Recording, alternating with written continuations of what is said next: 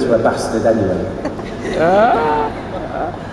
You found out when you saw your friends and your colleagues on the front page of the local newspaper, shaking hands with the newsagent who had sold them the winning ticket, who was presenting them with a novelty check.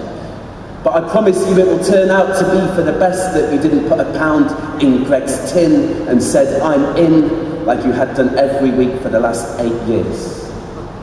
Those begging letters would start to get annoying, although it is always nice to get something in the post. But do you remember last year going on holiday to Morocco? Queuing at Gatwick, the excitement was because you knew you had earned it. All of those lunch breaks, you sat at your computer, because if you didn't, that work just wouldn't get done.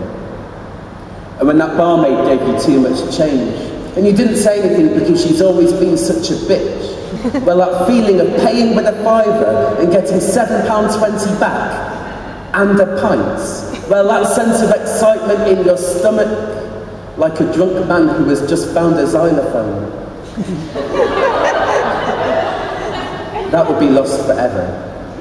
So I don't blame you for deciding to opt out. Of course you were never going to win. Nothing good ever happens to you. There's as much chance of you being hit on the head by a falling double bass from the sky than matching the thunderball. In this way, it meant you could save £52 a year. You can have a good night out for that, go for a massive curry, or maybe get a subscription to Viz, or buy four brand new DVDs. The rest of the syndicate will have moved into their mansions by now. They'll be racing quad bikes around their estates as their fancy kitchens are being built. It must feel like you're the only one not invited to a party that lasts forever. You're Pete Best and they're the Beatles getting off the plane at JFK.